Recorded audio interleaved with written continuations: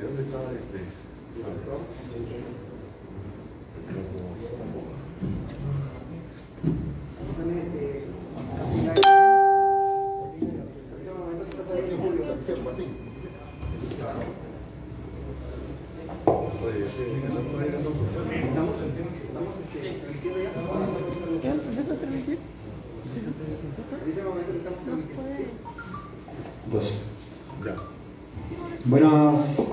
eh, amigos periodistas, diferentes medios de comunicación, escrita, radial y televisiva. Hoy nos convoca un tema muy importante, el cual eh, nuestro gobernador regional, ingeniero Wilmer Dios Benítez, quien se encuentra en la mesa acompañado por el doctor Harold Burgos Herrera, director eh, regional de salud, asimismo el biólogo Ricardo Gamboa Morán, el director de epidemiología de eh, la Dirección Regional de Salud de Tumbes. es importante también aclarar desde el inicio de esta conferencia a la que se ha convocado que el tema eh, principal y las preguntas que se han recogido mediante la línea de WhatsApp que tenemos, mediante las redes sociales y a las personas y periodistas presentes en esta mañana, eh, refiere al tema de la nueva variante de coronavirus eh, que al parecer se está presentando en nuestro país. Al respecto, dejo en el uso de la palabra al ingeniero Wilmer Dios Benítez, gobernador regional, para luego venir a la ronda de preguntas.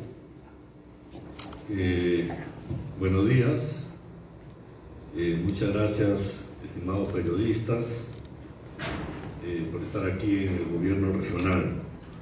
Esta conferencia de prensa que se ha generado el día de hoy es producto para dar a conocer sobre una versión tanto en nuestra región como a nivel nacional sobre una nueva variante de coronavirus o una nueva cepa, como se le conoce, en nuestra región.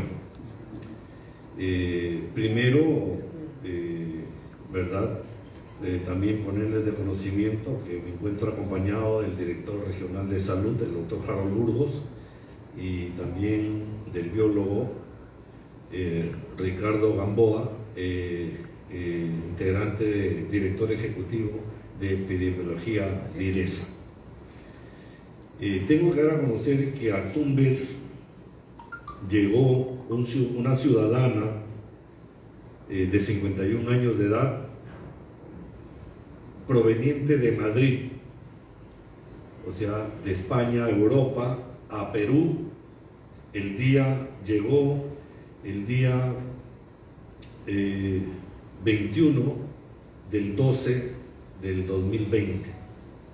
Esta persona que llegó a Lima, proveniente de Madrid, viajó a Tumbes, especialmente a la provincia de Contralmirante Villar, y experimentó síntomas el día 27 de diciembre. Inmediatamente el equipo de especializado la atendió y hizo todos los exámenes correspondientes y aquí en mi mano tengo la historia clínica que se generó el día que nuestro equipo de la digresa atendió a esta, a esta paciente.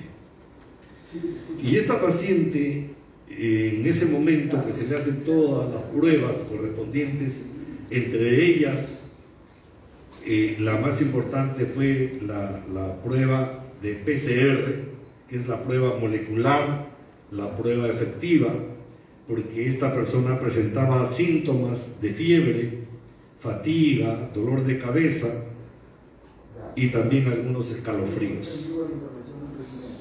Eh, sin embargo, esta prueba que se saca, que es la prueba PCR o molecular muy conocida por nosotros, da negativo.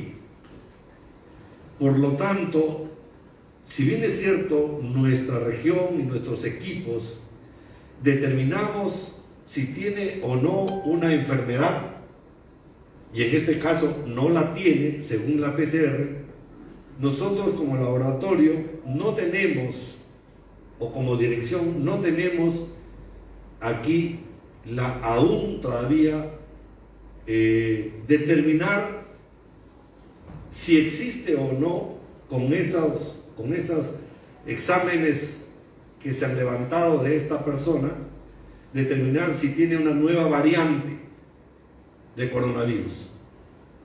Por eso es que todos los hallazgos y las pruebas se han enviado al Instituto Nacional de Salud con la finalidad que sean ellos los que den un diagnóstico si en caso eh, rebasara lo que nosotros aquí se ha determinado.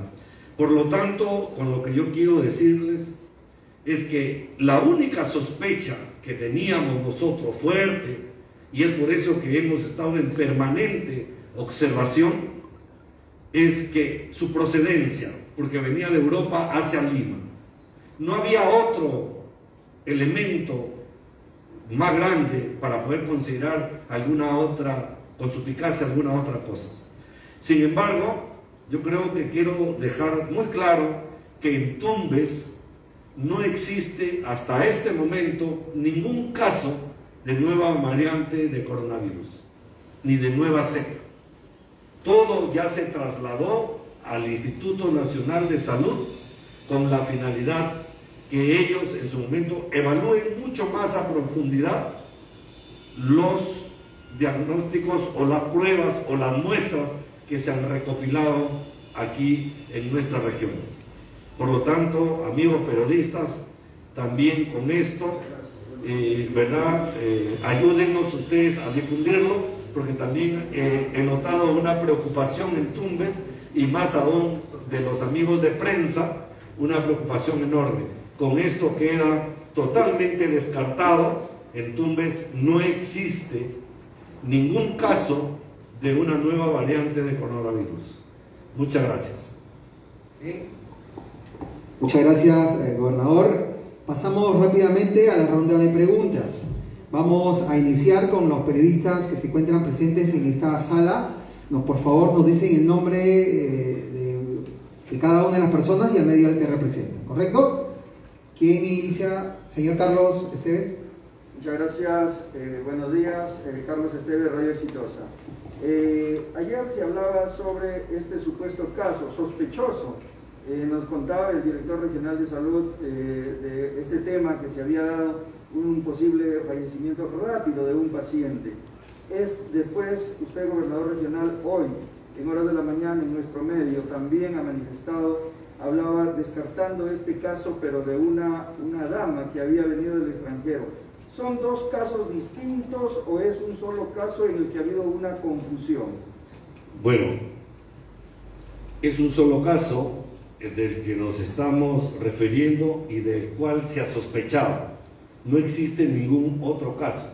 Del caso que puntualicé hoy en la mañana, y el que vuelva a ratificar en esta conferencia de prensa. ¿Queda descartado entonces que haya alguna sospecha ya en Tumbe sobre este caso?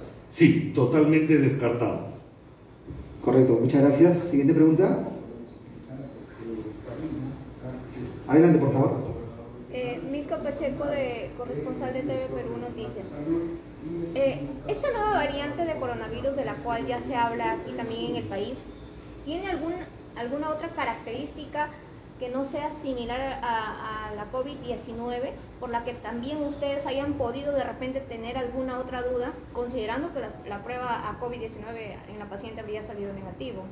Sí, bueno, nosotros, y vuelvo a repetir, definitivamente por lo que escuchamos a los especialistas, tiene eh, algunas variaciones con respecto al coronavirus que normalmente ya nos hemos hasta acostumbrado. ¿Qué tipo, de, ¿Qué tipo de variantes? Eso, bueno, he escuchado que debe de tenerlas, no las conozco, porque esto ya es un tema totalmente especializado, pero según lo que escucho, tiene otras variantes, otras, otras cosas distintas. ¿Y consideraron estas variantes para de repente enviar y analizar esas muestras en el no, Nosotros no tenemos que ir a, a tratar de ver otras variantes, no. Nosotros hacemos el diagnóstico por, la sintomatología que ha presentado el, paciente. Y eso se ha sometido al laboratorio y lo que vuelvo a repetir es que la prueba PCR sale totalmente negativa. Correcto, señor Odar, luego HCR. Sí, aquí le pongo al, director de epidemiología para que refuerce un poco más. Sí, bien, con respecto a la, pregunta, es la nueva variante que está circulando en Europa y por lo tanto por esa condición de, bueno, como de conocimiento, la nueva variante está circulando en Europa. el primer país que reporta o hace referencia de que ya la variante, la nueva variante está circulando en Sudamérica y Chile, Perú no reporta hasta la fecha y como lo aclaró el ingeniero el gobernador, en Tuve no está circulando esta variante, se descarta esa posibilidad. Esta variante tiene una característica, tiene una mayor tasa de contacto. No se evidencia aún si tiene mayor tasa de mortalidad, pero sí de contacto, y son los estudios preliminares que están haciendo en Europa, sobre todo en Inglaterra. Esa es la respuesta que le quería dar sobre la pregunta que... ¿Y en cuanto a la sintomatología? La sintomatología es presenta los mismos síntomas. Correcto, muchas gracias. Señora, su pregunta. Para, para el señor epidemiólogo, las condiciones están dadas en Tumbes para que se presente un caso de esta naturaleza, ya sea el caso migratorio, no solo etc. todo el mundo tiene condiciones para recibir la nueva variante. Es por eso que el plan de contingencia es restringir los ingresos de personas que proceden de países donde ya se reporta la variante, en este caso Europa. Es por eso que Perú ha restringido los accesos de personas que migran o vienen o viajan de Europa hacia Perú. En cuanto al tratamiento de un positivo, ¿es el mismo al que estamos combatiendo actualmente? El esquema es igual. Correcto, gracias. Siguiente medio, por favor, nombre y el medio que representa. Buenos días, soy Jairo Roque de Corporación Tercera. Eh, quiero hacer mi pregunta al director regional de salud. Eh, ayer conversaba con el defensor del pueblo y me comentaba que hecho una visita a la DISA. Entre otros temas ha tocado un punto relacionado a un envío de pulsioxímetros que se han enviado desde el mes de agosto, que actualmente hay en almacén más de 5.000, me comentaba. Eh, mi pregunta es, ¿por qué no se han repartido a los centros de salud si estaban destinados para alcanzárselo de los pacientes positivos para que puedan medir la saturación. ¿Qué es lo que ha ocurrido? Bueno, eh, con respecto a esa pregunta, Jairo, eh, la situación está en que nosotros eh, tenemos un programa de, repartición de todo y eso ya ha comenzado del mes pasado a hacerse la repartición. Inclusive ayer hasta Valverde está haciendo la repartición de todo este material. No solamente son pulsímetros, son varios equipos que han llegado y que se han comprado también por el número de de salud y a través de una programación se está haciendo la, la repartición a todos. ¿Por qué demoró si era de agosto? Bueno, eh, la demora, la demora se, se, ha debido por la situación a veces de las mismas movilidades a veces que no, no estaban disponibles porque estábamos más atendiendo la situación de la emergencia COVID. Pero de agosto a Sí, pero te voy a repetir, hay una programación para todo eso y se ha ido repartiendo a todos los, establecimientos de salud. En estos momentos, solo para terminar esa, pregunta, hay 5.000, dijo el defensor del pueblo. Eh, ¿Cuánto tiempo va a demorar en, repartir los 5.000 debido a que hay otra remesa que va a llegar? Y si es que sigue teniendo en stop, va a llegar a Piura y no a Tumbes. Eh, bueno, eh, eso más o menos será en el transcurso de este mes que se va a terminar todo eso.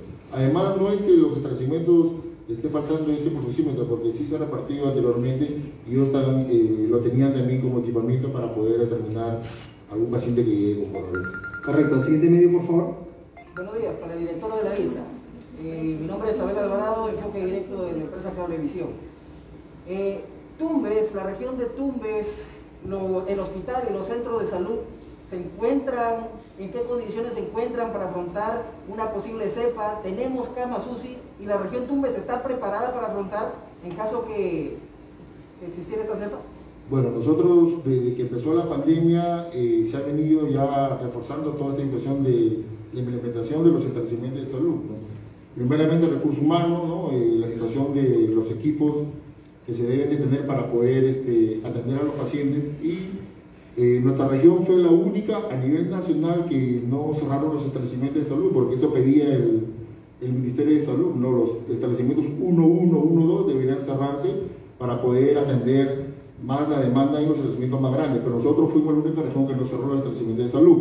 En ese caso sí, nuestro, nuestro personal ha venido atendiendo normalmente el primer, el primer nivel de atención, que son los establecimientos 1.1 hasta 1.4, que son las cabeceras del Micorre, siguen atendiendo normalmente ahorita a todos los pacientes. Inclusive, eh, les comento de que el Ministerio de Salud está eh, eh, prácticamente haciendo aquí en Tumbes un, un piloto de una posible situación que se presente de una segunda ola con los establecimientos del primer nivel. Van, van, a mandar equipos para que se capacita todo el personal y sobre todo el equipamiento que necesita en este establecimiento del primer nivel de atención. Y con respecto a las camas UCI, las camas UCI ya lo ha, lo reiterado en varias oportunidades el gobernador, yo también lo he dicho, ¿no?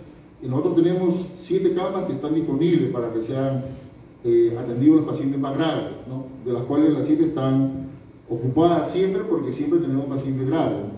Y hay para implementar más, pero le hemos, lo, hemos dicho siempre, ¿no? el recurso humano hace falta para eso, que son los médicos especialistas, usiólogos que se necesitan para poder atender, pero ya se ha hecho las coordinaciones con el Ministerio de Salud para que se dé la capacitación a nuestro personal y ellos puedan atender a estos pacientes. Eso es lo que, lo que les puedo informar.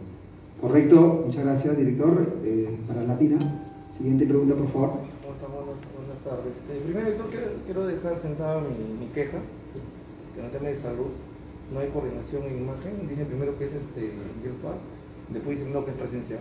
Espero que el jefe de imagen de salud se nos acaba de un arrosillo de Otro, este. Mi pregunta es, ¿cuántos pacientes graves están a la espera de, de cama UCI ahorita en este momento?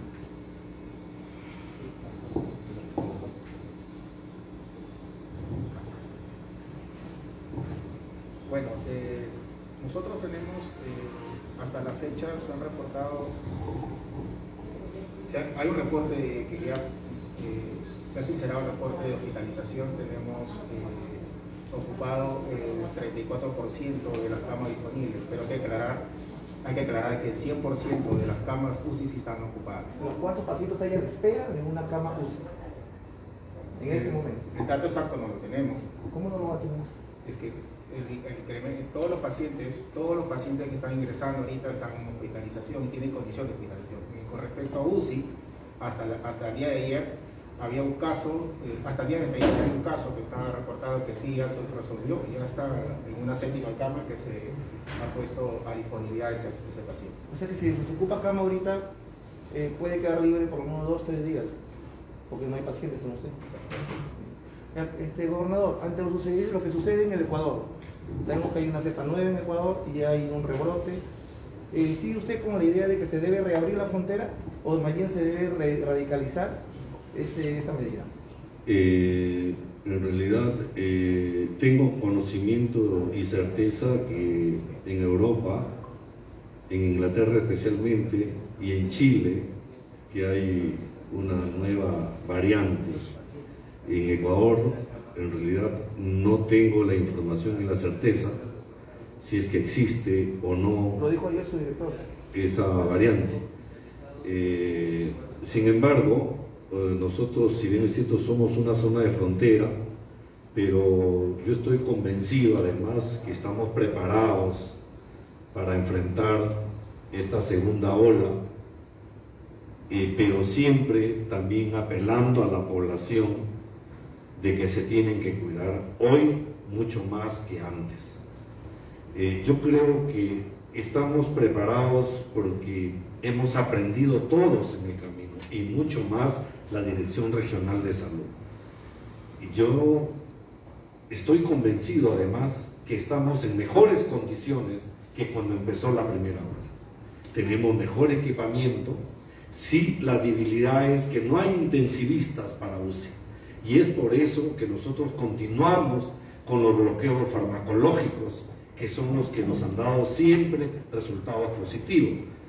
Hace unos días atrás hemos lanzado una versión distinta de plantaita y se está atendiendo y llegando sobre todo a las personas adultas mayores. He dispuesto hoy en la mañana en una reunión con el doctor Harold y el equipo de intensificar el trabajo, sobre todo de visita domiciliaria en la zona donde desde Navidad y Año Nuevo hemos recibido mayor cantidad de visitas. No se olviden que Tumbes y una parte de, Pluya, de Piura están considerados entre el marco de playas del norte y hemos recibido visitantes. Por lo tanto, yo creo que allí nos estamos abocando. Eso no quiere decir que los otros sectores no. Entonces, sí les pido también a través de ustedes su comprensión y la difusión del cuidado. Yo he visto que a veces nos descuidamos y ponemos en riesgo a nuestra familia y nuestra propia persona. Correcto, pasamos, eh, señor gobernador, señor director, a la ronda de preguntas que se han enviado por las diferentes plataformas virtuales a esta conferencia de prensa. Panorama vecino nos pregunta si existe una alerta nacional debido a la información brindada eh, por la direza sobre la sospecha de la nueva variante de un paciente fallecido en la región. ¿Qué día se envió dicha toma al Instituto Nacional de Salud y cuándo se tendrá el resultado? ¿Se ha aislado la familia del fallecido? Y finalmente, ¿cuándo fue la última vez que sesionó el Comando Regional COVID-19? ya que ante un rebrote y una segunda ola se siente que ya no existe dicho equipo de trabajo. Sí, eh, bueno, yo tengo que reiterar nuevamente, lo dicho la misma pregunta, es una sospecha y con esta conferencia que ha descartado que en Tumbes hay algún caso de esta nueva variante. El tema de, de de todas las pruebas y muestras se han enviado al Instituto eh, Nacional de Salud, se enviaron la semana, eh, esta misma semana, estamos hoy miércoles, esta semana se han enviado, el día lunes se ha enviado esta, esta información al INS. Y nosotros, eh, el Comando COVID y el equipo técnico, siempre estamos en coordinación. Nosotros no hemos bajado la guardia y seguimos trabajando como un solo equipo y ahora yo creo que tenemos que mucho más eh, reforzarnos a trabajar, pero también siempre y cuando pidiéndole el apoyo a la población de Tumbes en su cuidado personal. Siguiente pregunta eh, nos envía Kelly Monge de ATV respecto a la información que se tenía conocimiento de un paciente fallecido. Ella nos refiere que cuál era su estado clínico y si tenía comorbilidad. ¿Estuvo en alguna reunión o fiesta antes de su deceso? ¿Hay más sospechosos? Bien, aquí hay que aclarar una situación. Eh, sobre lo que yo aclaré del paciente fallecido es un paciente que falleció, pero que no. O sea, ese paciente venía de Piura, no era de acá de Tumbes, y había fallecido se había contagiado en una reunión que había tenido acá en Tumbes. Esa es la situación de la respuesta. Correcto. América Televisión nos envía las siguientes preguntas. ¿Qué porcentaje de sospecha tiene casos que se hayan aislado y sean portadores de la nueva cepa de COVID-19? ¿Qué posibilidades hay de contratar personal emergencista para tener al menos unas seis unidades más de cuidados intensivos?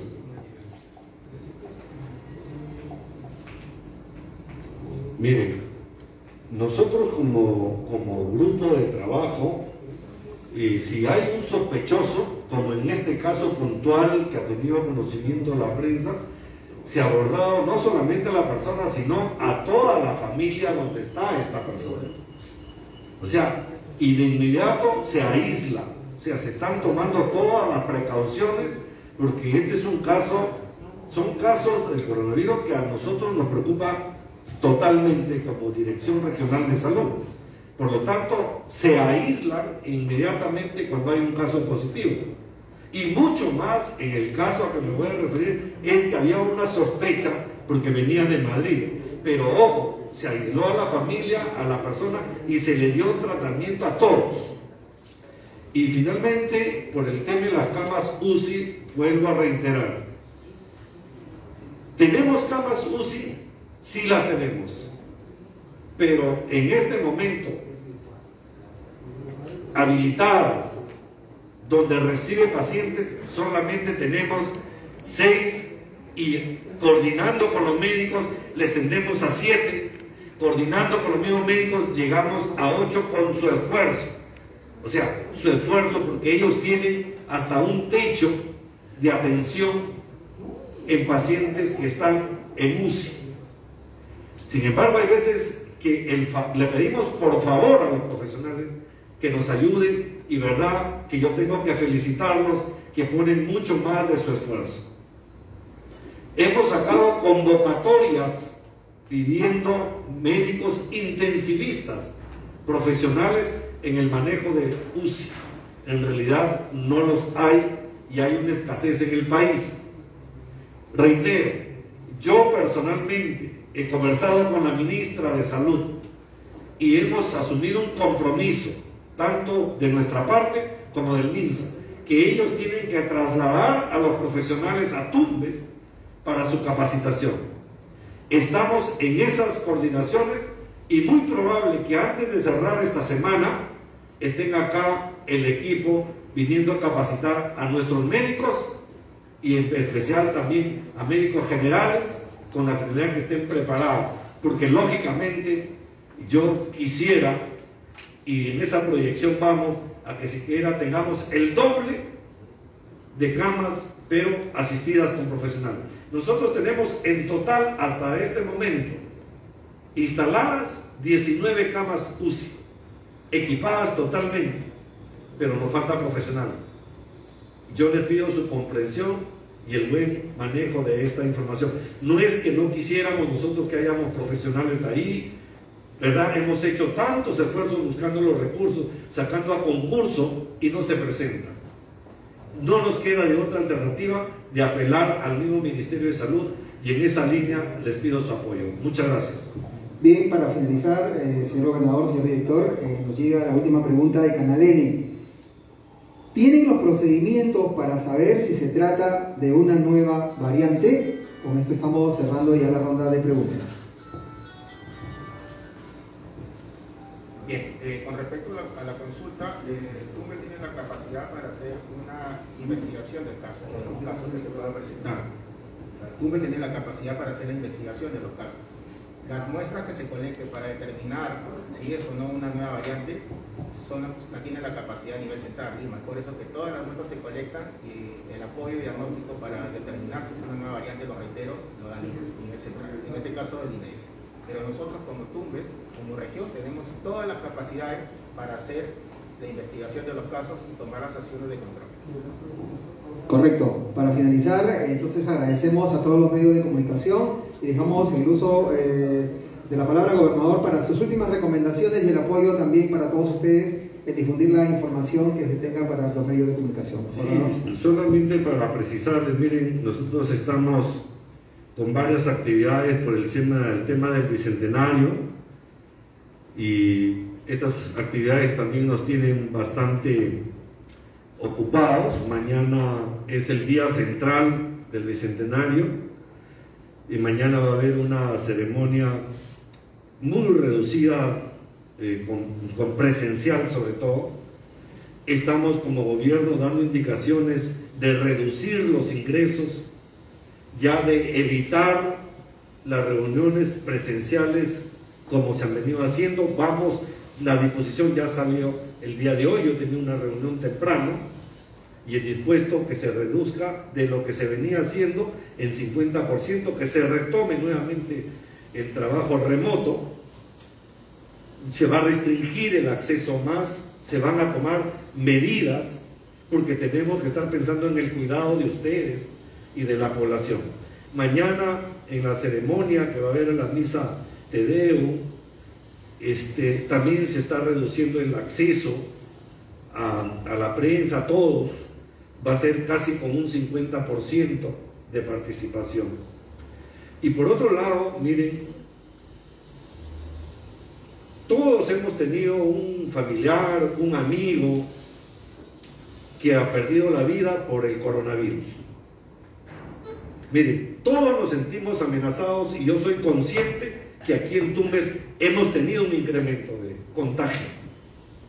Gracias a Dios, el tema de fallecimientos está en el promedio que se ha venido manejando.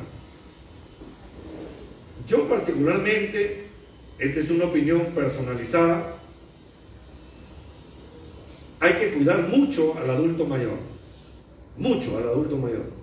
No arriesguemos con los niños que salen a la calle y que vayan a ir a tocar o a visitar al adulto mayor que tienen en casa. Miren, ahí sigue la vulnerabilidad. En el adulto mayor sigue la vulnerabilidad. Por lo tanto, yo les pido de manera personal y como gobernador también, cuidemos a nuestros familiares,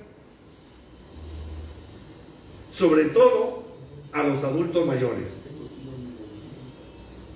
Extrememos, miren, extrememos nuestras medidas de bioseguridad personal. Uno mismo, ustedes mismos, si tienen que salir a la calle, salgan, pero protéjanse bien. No toquen algo y lo lleven a la cara, no hagan eso. Si es posible, extremen una medida, lleven su alcohol en su bolsillo, etc. Miren, es doloroso. aquí en Corrales, en estos días, yo soy de Corrales, un vecino que tiene, que, casi es un familiar, un poco, no cercano, pero es un familiar, ha fallecido de COVID. Entonces, ¿y cuántos años tiene? Pasa de los 74 años de edad.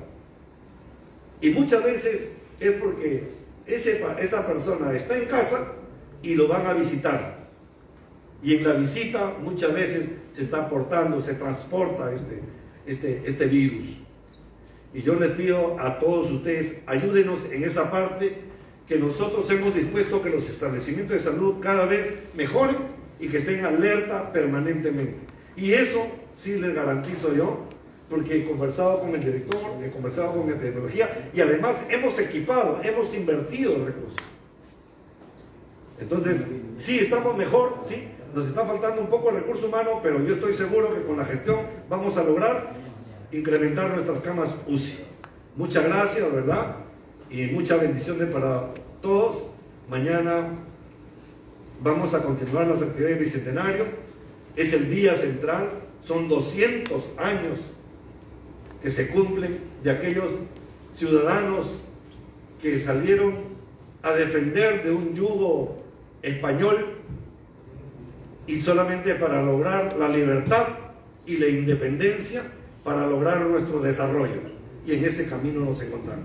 Los espero mañana y, verdad, también que vayan, pero protéjanse bien. Muchas gracias.